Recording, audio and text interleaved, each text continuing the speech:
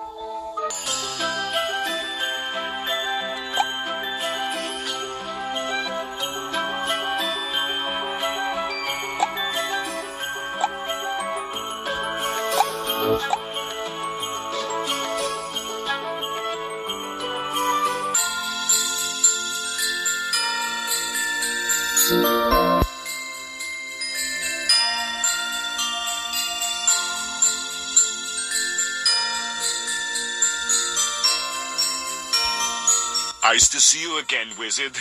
I have lots of cool trinkets on sale. Do you have any magic snowflakes for Hans? Let me tell you, he won't chill out until he gets some.